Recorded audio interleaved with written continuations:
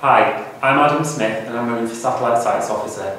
My policies are I want to improve the publicity of student groups at satellite sites, to maintain and improve affordable travel between sites, and I want to publicise the Guild services and facilities because students at satellite sites should, should get as much as they possibly can out of the Guild. So, vote for me.